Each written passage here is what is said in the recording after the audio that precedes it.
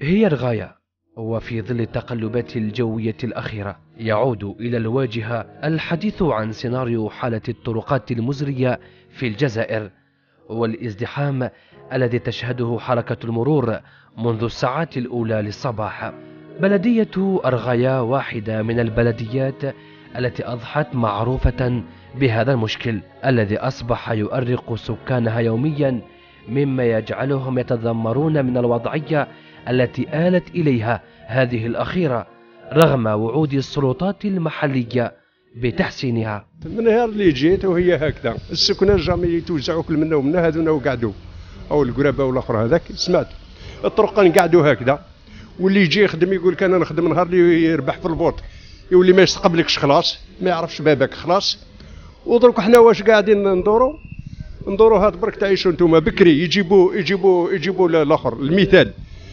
يجيو يديروا الخطاب والله باسم أولاد باسم الشهداء درك ولاو باسم الشباب.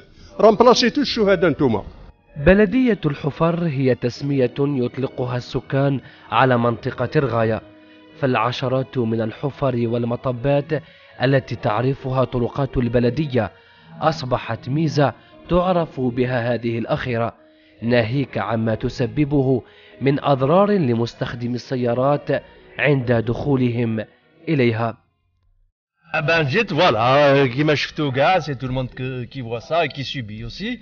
Euh, L'Hafra, l'Hafra, donc euh, non signalé, euh, non balisé, rien, rien, rien du tout. C'est une catastrophe parce que c'est toujours le citoyen qui paye, le petit citoyen qui paye. Hein. Euh, la carrosserie, je dois la réparer à mes frais. Mais quand il s'agit d'une société ou là de l'État, etc., là, ils s'en foutent. السكان ملوا من الشكاوي المتكررة التي تقدموا بها للسلطات المحلية لتحسين وضعية الطرقات. لكن لا حياة لمن تنادي على حسب قولهم. يعني كي تطيح الشتاء كيفاش تكون وضعية تاع الطرقات هنا؟ تكون مهلوكة كيما راك تشوف هنا راك هاي دعوة مهلوكة. هذا ما كان. يعني أنتم على مدار الأسبوع تعانيوا وفي الشتاء تعانيوا أكثر؟ بيان سور يا فعلا في الصيف يخدموا يروح الصيف. شكون المسؤول في الحالة هذه البلدية وتاع طرفو بيبليك تاع هذوك هما هما اللي مسؤولين يخدموا.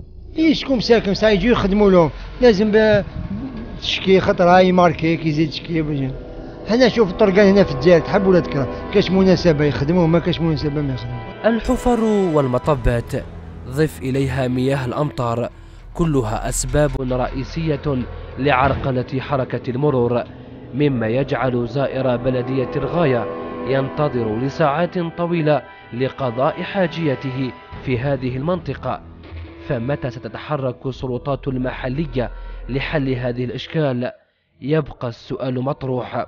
قصة الغاية لم تنتهي هنا فحسب. يشبهها السكان بالمأساة اللامتناهية والشبح الذي يبدأ كل يوم. انتظروا واكتشفوا الجديد وما لا تتصورون عبر تغطياتنا القادمة.